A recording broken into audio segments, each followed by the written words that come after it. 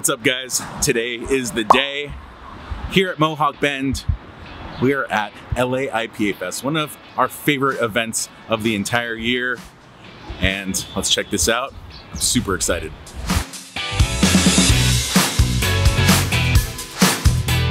All right, guys, just got in and time to hit the first beer of the day. Man, 60 plus IPAs here. Um, fucking impossible to choose. Just take a look at this tap list. It's fucking ridiculous.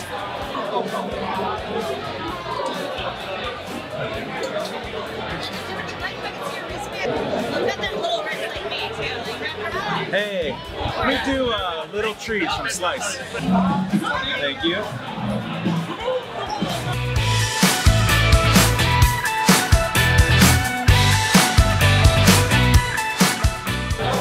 Guys, Little Trees from Slice Brewing Company. Super excited to try this beer. I've heard nothing but good things. Cheers.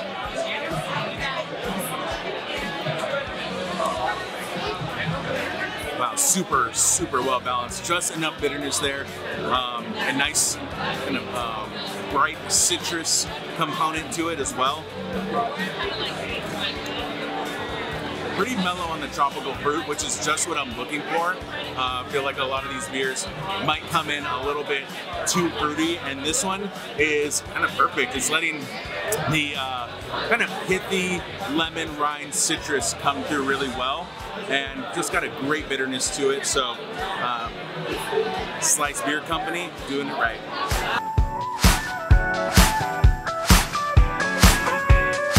All right, we made it into the back room where all the judging is taking place, right back there. Uh, serious business here, 60 plus beers. They have to taste through a bunch of them and really push through the ones that they feel kind of exemplify the style, but also kind of make a mark on their palate. So everyone's got a different palate. Uh, it's a very difficult contest to judge, but if anyone's gonna do it, these guys are. It's some of the best brewers in California.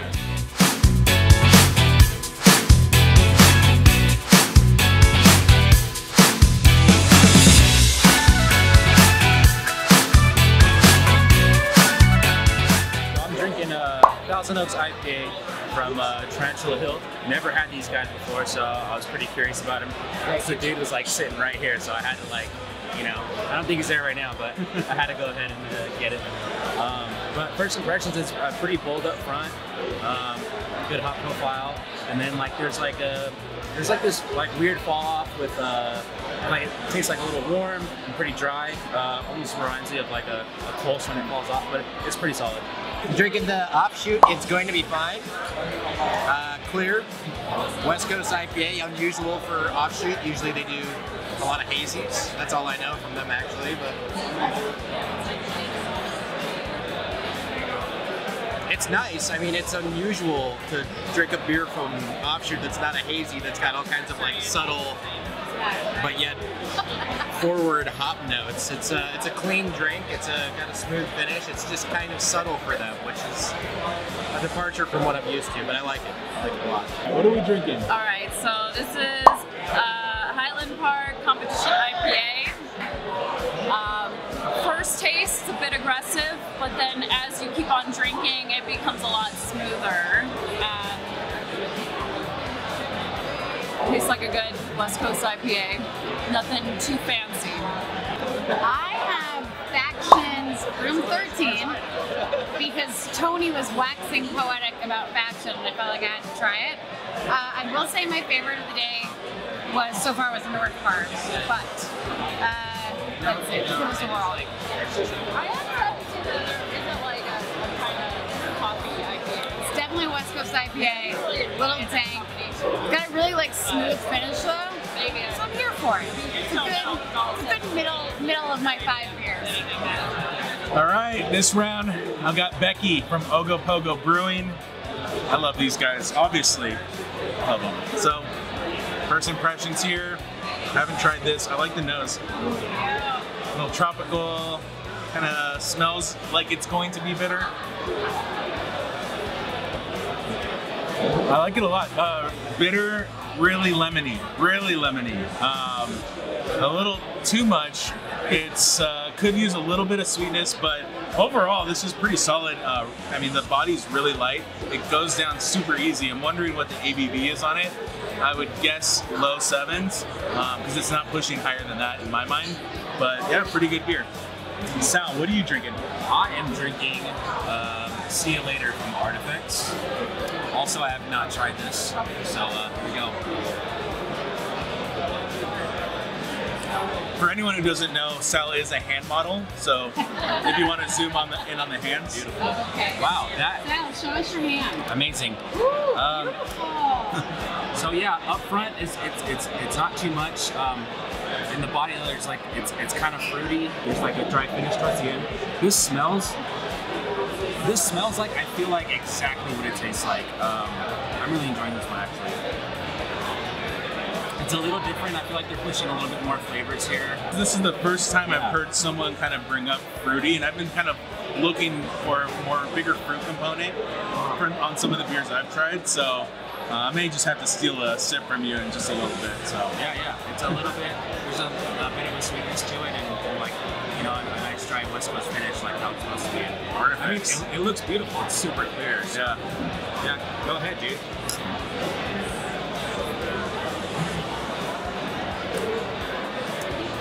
Yeah, I mean, you do have that um, tropical orange a little bit. Yeah, a little bit of kind of candy fruit.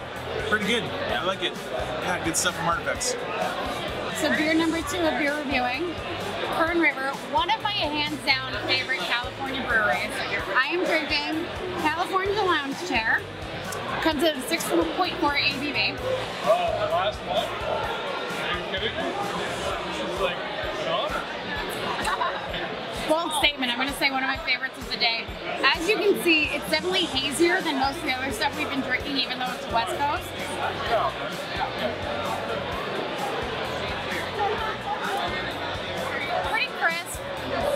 Too many fruity notes. A little grapefruit towards the end. It's delicious though. I don't know if it's a West Coast, but I'm here for it, so it's good. And also, pretzels. What's amazing is testing while drinking competition by Highland Park. You got to go with Highland Park just to sort of because they have they always bring so much amazing craft beers, but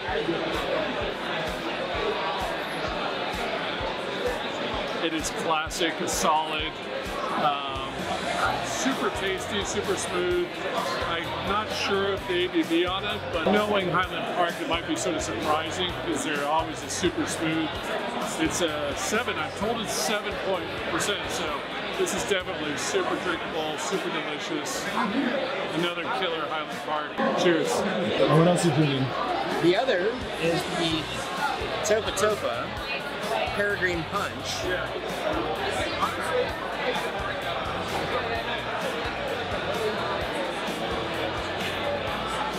Very light, very light, very clean, very clear, um, very refreshing. It, it's just kind of dancing on the palate. There's not a lot of bold flavors going on, but it's it's got some subtle things that I'm really enjoying. It's a good one. First sip, good job, Topa. I like it a lot. Cheers. So this is fall, who I love, uh, Phenomenal Liar. It's weird because initially it's really smooth, and then afterwards it's kind of like the flavor profile is intense after you swallow. So it gets hoppier after the fact.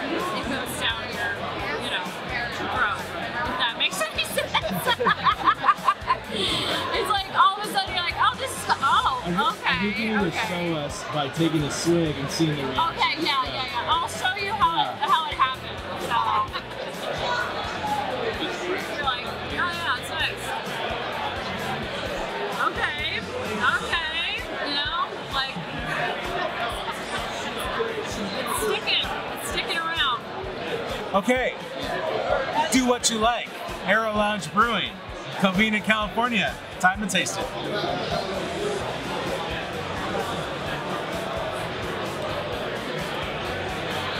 It's got a great, juicy, overripe orange component to it. Just a touch of bitterness. It's not over the top. That sweetness from the fruit really kind of sits on your palate, sits on your tongue, and reminds you that like there's some body behind this. There's something that's going to like linger a little bit and remind you that you're drinking a West Coast IPA. Some of the other beers we've had have been a little bit smaller, almost session IPA-esque. Um, this one is not. Uh, I don't know what the ABV is on it. Uh, I'm guessing mid sevens, but uh, yeah, great color, nice and clear. I like that a little bit more like copper burnt orange coloring to it, and it carries through in the flavor. Dig it, Lodge, can't go wrong. I am drinking uh, runner-up at best from Claremont. So I've had a lot of Claremont beers. Almost every single one of their clear series releases I've had. Had a lot of their hazy series. Big fan of Claremont. This one up front's really hoppy, super West Coast. Um, like no denying that this is a West Coast beer. Um, it's got some decent clarity. It's pretty good, super hop forward. I honestly think I like uh, some of their other offerings a little better. Uh, like Ridge Road, super good. Um, this kind of actually reminds me a little bit more of their uh, their Claremont IPA. But yeah, it's super hop forward, super IPA. You know, if, if you're an IPA fan, like for sure this is this is uh, floating your boat for sure. But it is good. So this is the Green Cheek Pet the Tiger. Um, definitely got some hop forward notes on the first sip. Definitely like a, a strong green cheek beer. They're definitely coming in with some big flavors for the IPA Fest. Um, it lingers for a little bit on the tongue. Um, you're getting that bitterness that you would expect from green cheek. It's a, it's a good, clean drink. I, I think it's a, a nice IPA. It's a good West Coast IPA. She's always no. She's always a, a, a great counterpoint to my to my first initial impressions. No, I, I agree. Actually, green cheek is usually pretty intense. this nice. It's a good balanced IPA. It doesn't feel like it's too over the top. You're not trying to punch in the mouth of with hops. This is a good one. I really like Green Cheek. And Pet the Tiger's a solid, solid. The other one I got here is the uh, Ellipsis Chief from Stone Liberty Station. I'm gonna do a little reset here real quick.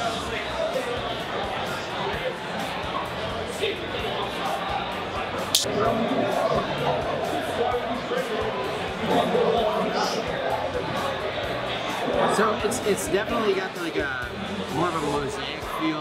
What I, more of what I expect from Stone. Uh, they're a complex brewery, but that seems like a nice submission to the festival. It's got some bite. It's definitely got some bite, which Stone is known for. You kind of feel it on the side of your tongue when you first take a sip.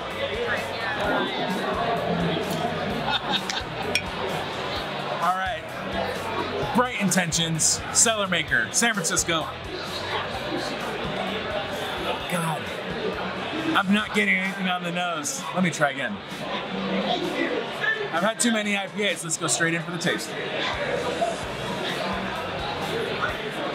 This is a much softer beer than a West Coast IPA should be, and the appearance here should give that away. It is most definitely got a slight haze to it. So yeah, definitely softer on the mouthfeel. It's got a bit of bitterness to it, citrus, not a lot of fruit, a little bit of dankness to it too, a little pininess that I'm digging, but ultimately doesn't have that crisp bite and that clarity that you're looking for in a West Coast IPA. I don't think this one goes forward, but it is enjoyable. I will continue to enjoy. This is El Segundo, 90245. 90245. No idea what the ABV is, but I did take a sip earlier, but that's a nice golden color. A little bit on the dark side, maybe, for an IPA.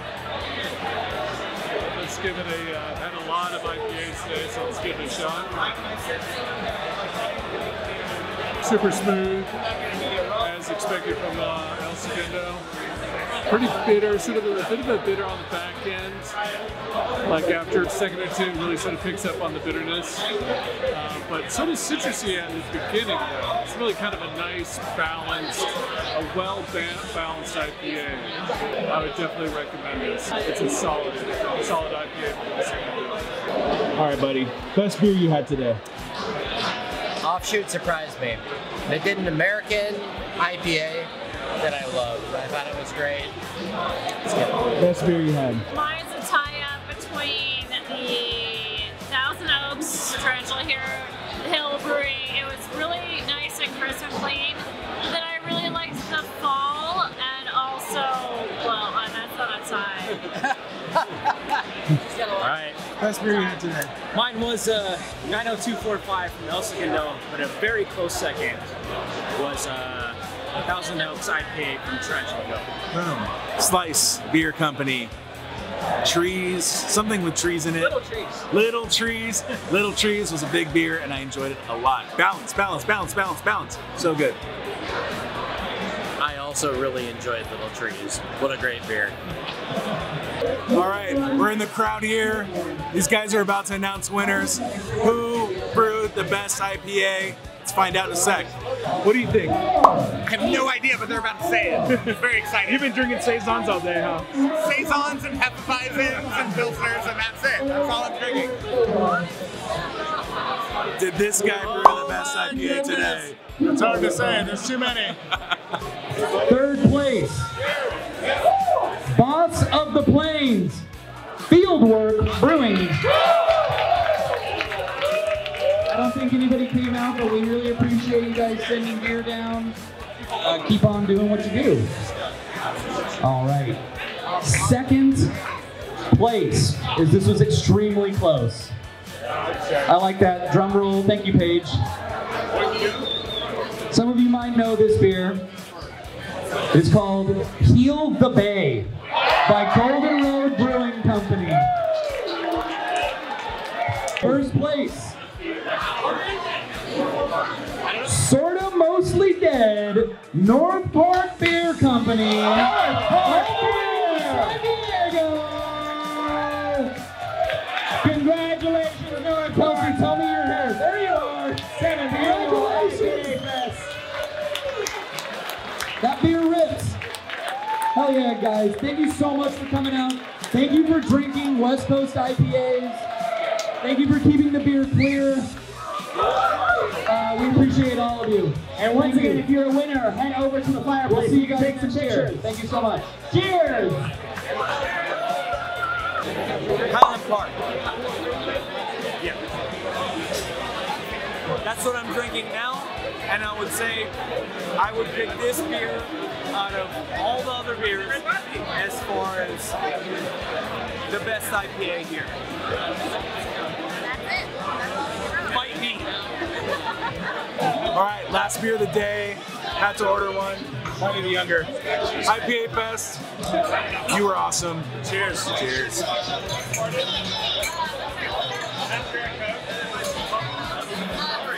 Yeah. That's a way to end the IPA Fest right there. Yep, that's it.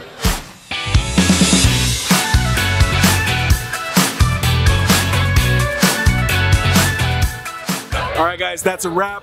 IPA Fest Mohawk Bend. Shout out to the man right here, Andrew, for putting on such a great show. Thank you so much. Good beers. Appreciate it. Yeah. Yeah, cheers. All right, we'll see you guys next year.